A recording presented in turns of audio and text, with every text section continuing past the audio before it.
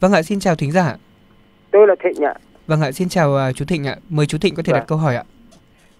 Tôi cảm ơn chương trình, cảm ơn bác sĩ. Làm ơn cho tôi hỏi luôn ạ. Vâng ạ, Hỏi xin nhanh. mời bác ạ. Ngày hôm qua tôi rất là nhức đầu, sổ mũi và hắt hơi cả ngày. Đêm qua tôi mất ngủ. Thì tôi chả bị cái trường hợp như thế này bao giờ. Năm nay tôi đã 60 rồi. Thế mà là tôi chả dính vào trường hợp này bao giờ. Thế bây giờ tôi xin bác sĩ hãy giải thích cho tôi biết là và cách ờ, xử lý cái bệnh này đi ạ. Ngày hôm nay tôi vẫn thấy khó chịu. À, dạ vâng, chào bác Thịnh. Vâng. À, ngày hôm qua thì tự nhiên bác thấy đau đầu đúng không ạ? Vâng, Chảy nước mũi, hắt hơi đúng không ạ? vâng ạ. Có kèm theo đau đau nhức mình mẩy không ạ? Không, Có tôi sốt vẫn khỏe, không ạ? vẫn lao động. Thế Có- nhưng mà tôi mất ngủ cả đêm. Vâng, có sốt không ạ? Không, không sốt. À, tôi Nó nghĩ chỉ rằng có hát hơi và sổ mũi thôi. vâng, tôi nghĩ rằng anh cần đi khám một chút. Không biết tiền sử của anh có bị ừm, ví dụ như bị có tiền sử viêm xoang hay không, có tiền sử viêm mũi hay không?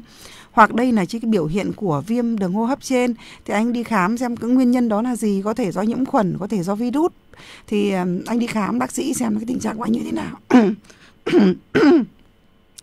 ví Vâng, dụ như là những cái tình trạng ví dụ như là à, anh bị ờ, cúm chẳng hạn thì nó có biểu hiện viêm long đường hô hấp trên ví dụ như là sổ mũi chảy nước mũi kèm theo hắt hơi à, có thể sốt nhẹ hoặc có thể không sốt thì tôi nghĩ rằng là những bệnh lý do virus anh có thể gặp phải tôi nghĩ anh cũng cần phải đi khám anh nhé Tôi hỏi thêm thế ạ. vâng ạ mời anh Đây nói có đi phải là phế quản không ạ?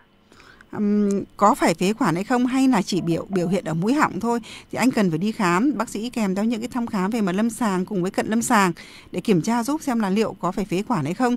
Như theo cái anh các anh mô tả thì ngày hôm qua anh mới bị thôi mà kèm theo triệu chứng như chảy nước mũi sổ mũi hắt hơi thôi thì cái biểu hiện ở mũi họng là nhiều hơn cả. À, tôi nghĩ là anh cần phải đi khám xem liệu anh có bị có tình trạng như là viêm long đường hô hấp trên như là do do cúm hay không do nguyên nhân do virus hay không thì anh đi khám bác sĩ đi anh nhé